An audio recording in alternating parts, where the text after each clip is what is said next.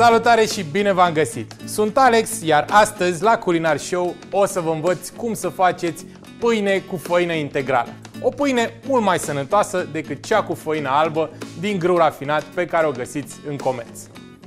O să fie o pâine sățioasă, cu miez dens, care va crește foarte, foarte frumos, asemenea unui cozonac și care vă aduce aminte de acele zile petrecute la țară alături de bunica voastră atunci când vă făcea pâine de casă.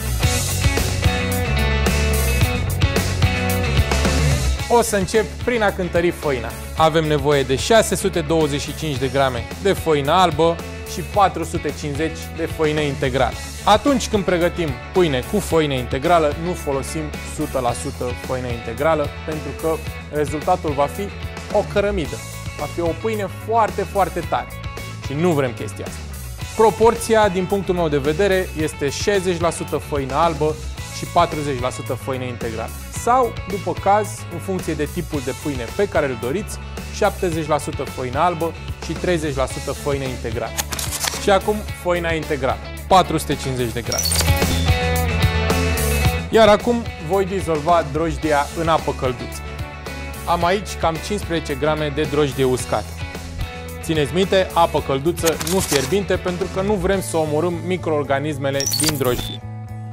Și acum voi pune jumătate din cantitatea de miere peste, adică 100 de grame. Și 6-7 linguri de făină albă. Amestecați bine ca să nu aibă cocoloașe și o lăsați circa 15 minute la cald până se activează drojdul. Este gata în momentul în care se va umfla, asemenea unei spume. Acum voi amesteca cele două tipuri de făină și un praf de sare. Sarea nu trebuie să intre în contact direct cu drojdia pentru că va omorâ microorganismele din ea. Priviți, drojdia s-a activat. Cam așa ar trebui să arate. Dar până să o punem peste făină, va trebui să încorporăm circa 3 linguri de unt topit și restul de miere. Așa cum v-am spus mai devreme, pâinea aceasta este ușor dulceagă. Dacă nu vreți să puneți atâta miere, puteți să puneți mai puțin, evident. Și acum voi incorpora și drojdia. Puțin câte puțin. Hidratăm aluatul treptat ca la ecler. Când ați ajuns la această consistență, pudrați blatul de lucru cu făină integrală și mutați-o aici. Iar acum va trebui să frământ circa 10 minute, până când veți vedea că aluatul este foarte, foarte ușor lipicios și se desprinde ușor de pe mână. Acum, în funcție de cât de bogată în gluten este făina, vă veți da seama de câtă făină integrală va mai cere pe lângă. Pentru că va trebui să mai adăugați puțină făină integrală. Pot fi 50 de grame de făină, pot fi 100, pot fi 150. Repet, în funcție de cât de bogată în gluten este făina. Observăm că aluatul este foarte lipicios, deci trebuie să adăugăm făină. Aluatul trebuie să fie ușor umed, iar mâinile, așa cum v-am spus mai devreme, să fie curate. Observați că s-a luat toată coca de pe mâini. Iar acum o să-l pun la crescut în acest bol, pe care îl ung cu puțin ulei. Întoarcem puțin ca să fie uns pe toate părțile. Îi pun folie de plastic deasupra și îl voi lăsa la cald circa o oră și jumătate până o să-și dubleze volumul.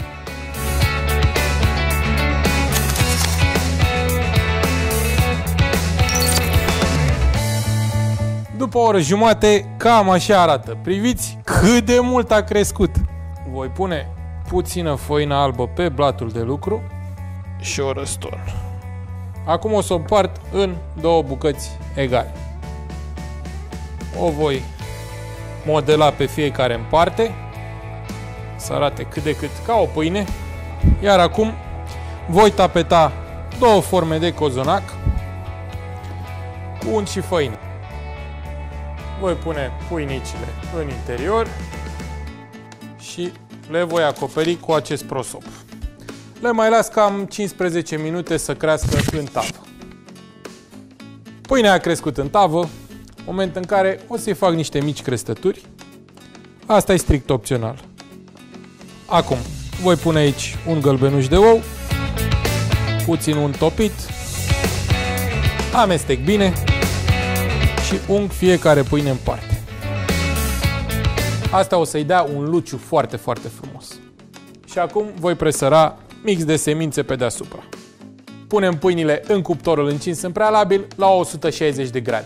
De ce 160 de grade? Pentru că țin cu tot din adinsul să se coacă foarte bine în interior. Și o să le lăsăm aici cam 40-45 de minute, în funcție de performanța cuptorului.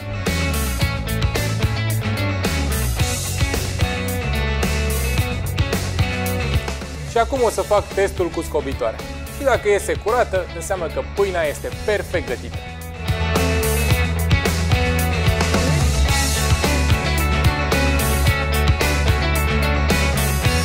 Ele trebuie lăsate să se răcească complet înainte de a le tăia.